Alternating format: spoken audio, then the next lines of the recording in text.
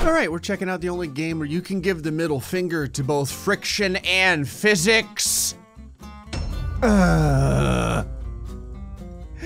it's Universe Sandbox. So, uh, Universe Sandbox just had an update that is probably one of the most amazing ones yet because it allows you to completely change the laws of physics. You may be saying to yourself, Great. Didn't it kind of do that before? Not exactly. See, what before it did was it allowed you to take physics to impossible extremes. But now you can just simply change how physics works. Finally, you can get rid of things like, oh, you know, pesky friction. Or, you know, equal and opposite forces. That doesn't happen anymore either. See, if you notice, right over here, the moon that I just threw at the Earth has the ability to do all these things like fragmenting and colliding. But what I could do was turn the momentum transfer off of the Earth. This means that the moon that I made is now effectively invincible. Not only can it go straight through the Earth and vaporize it, but it could potentially go through a hundred Earths. I really don't know. This also means that my grain of sand that I typically use to torture the earth, which has now been completely atomized because it has no collision. So all of the atoms and stuff aren't hitting one another. It just dissipates into a fine gas. I can finally take my grain of sand and legitimately turn it into a rail gun. I think what's funny is the moon is probably very sorry that it just killed the earth because now it doesn't have anything to orbit. You can see right here, it's crying. These are gigantic moon tears. Now it's turning into a delicious cheese puff, and now it disappeared. Actually, it didn't disappear, it just turned pitch black. It's actually kind of cool. Normally, the issue with my grain of sand is that it would typically just, you know, be obliterated by hitting something like the earth. It would, of course, destroy the earth, but I would be sad because it would be immediately atomized. However, going into my object is always one of my favorite things because I get to see stuff such as No Survivors Part 2 and Carl. I'm not 100% sure, but I do believe that my no survivors was my grain of sand. Ah, half a millimeter. It absolutely is. Okay, so now I'm going to not have it be affected by anyone else's gravity. It is allowed to collide with others. However, it will not fragment. I don't want it to get destroyed, and it will transfer momentum. Now, for the Earth, it doesn't get to pull anything. I'm not gonna have it get pulled by others. It will fragment, it won't transfer energy. So as something like a baseline here to understand exactly how horrifying this can get, we will start at a classic speed of one light speed. Get way zoomed in, and here we go.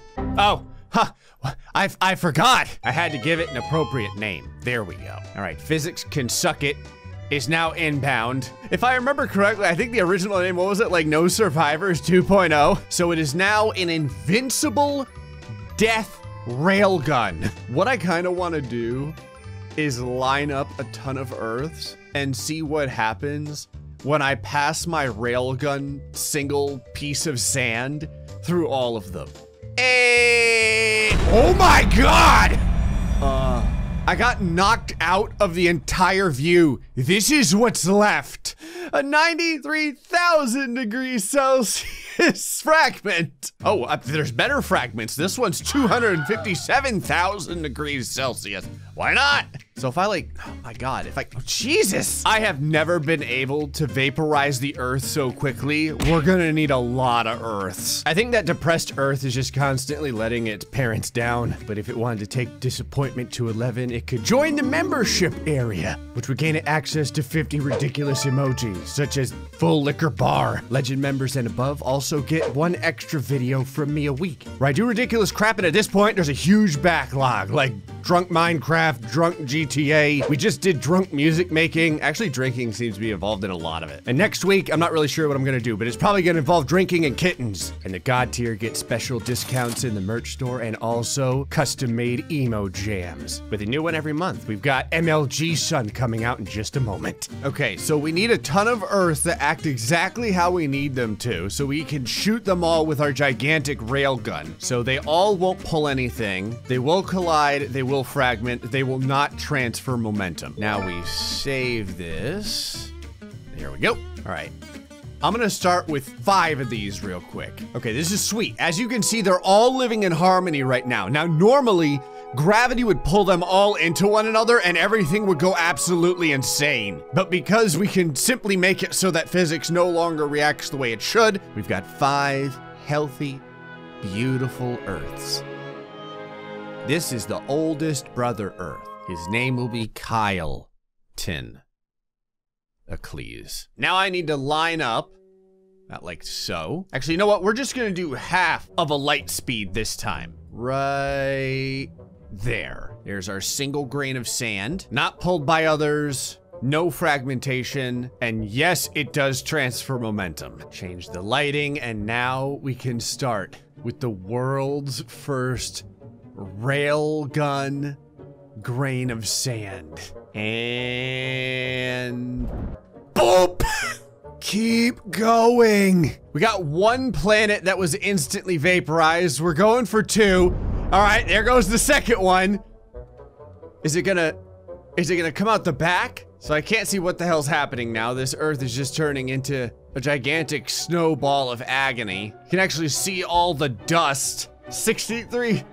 63,000 degrees Celsius and 0.239 degree light speed. And once again, it just gets completely atomized. Huh. Interesting, my grain of sand only made it through two Earths. Hold on, I gotta try something real quick. What happens if we increase the size of what we're throwing? I don't wanna get too out of hand here, so I'll just do Mercury. No one likes Mercury. All right, doesn't fragment. You know, I'm curious what happens if we don't transfer momentum. What the hell, magic? Inverted gravity. I didn't know this was a thing. What? You know what? Sure, why not? Who needs normal gravity? Okay, Mercury coming in. Currently, I, I really don't know what the hell I've done to Mercury's physics at this point. And Oh, so does it have no choice but to transfer momentum? Hold on. Okay, transfer momentum on. Oh, wow. Okay, now it works perfectly. Oh, it's actually sticking to the earth. It is pushing the earth like a snowplow. Hell yes. Equal and opposite reaction. There are no equals in my universe. So now this Earth, this is weird because, yeah, because now it's gonna go inside of the second Earth. So now it is effectively pushing two Earths at once. Look at the rain of death that was left behind the two Earths. We're dealing with 159,000 degrees Celsius, although this Earth is absolute zero. Hold on, I gotta follow these because now what happens? So that Earth just completely disintegrated. And this Earth kind of survived except for a gigantic wave of fire that's killing everything on the entire planet. I assume if we look at the surface, there will be no survivors. Okay, there may be some survivors. Okay, I gotta put a lot more Earths in a row. Hold on. Oh yeah. There. It's a straight dozen. 12 Earths. All right, we're gonna go a little bit more insane here. Still gonna use Mercury. About like so. Not pulled by others. Collision, yes. Fragmentation, no. But now we're gonna move things up to 10 light speed. Oh, and we're gonna invert gravity because honestly, why the hell not? And you know what? Because we can, let's make this hotter. Yeah, all, all the hot.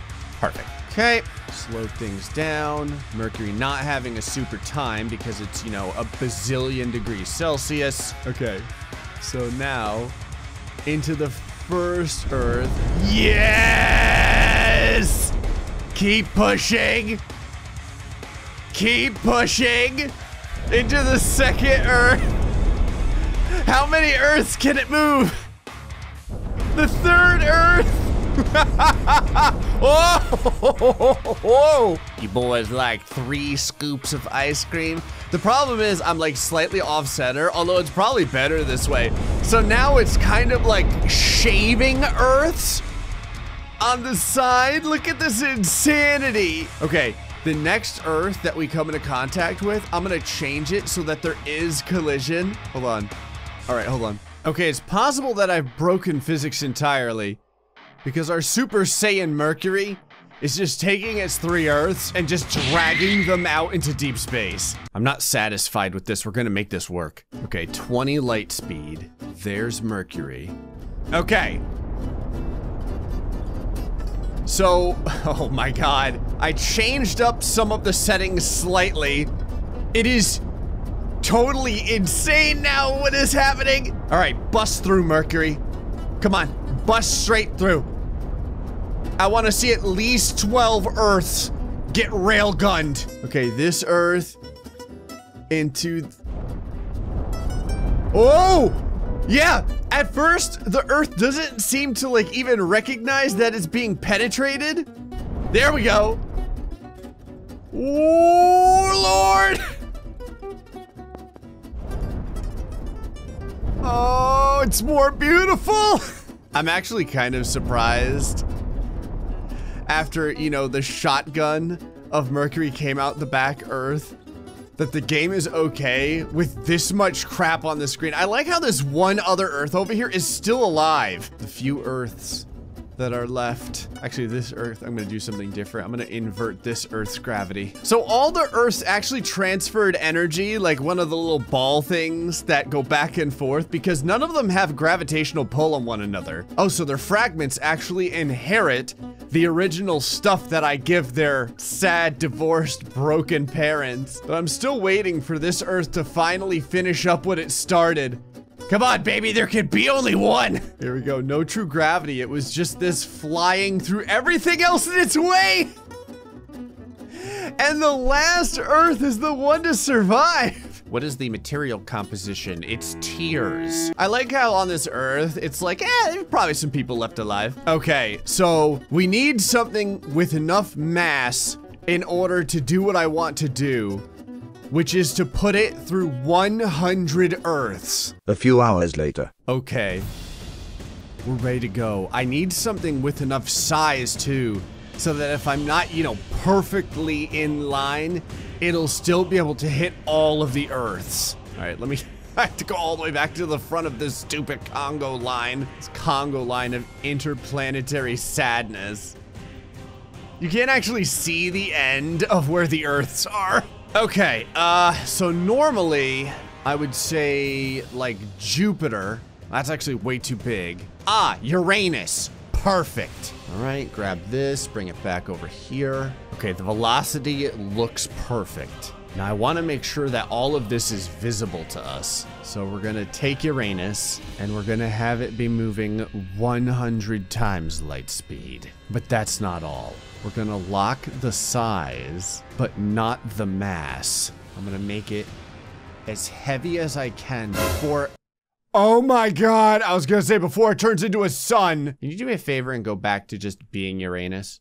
Okay, let's try that without turning it into the sun. There, let's stop there. All right, now Uranus can't be fragmented. Wouldn't want that. And it can't be pulled by others. Slow everything down maximum slow. And now it's time to break physics and the game. Okay. Speed things up a little bit. This is good that we can actually slow down enough with 100 times light speed. Okay. Okay, so far it's just eating the Earths. It's like a gigantic watery Pac-Man. Yum, yum, yum, yum, yum, yum, yum, yum, yum. I'm curious if it'll just go through all the Earths. All right, here, you know what? What I'll do real quick, I'm gonna make it all iron just to see if that changes anything. I don't think it will. Go!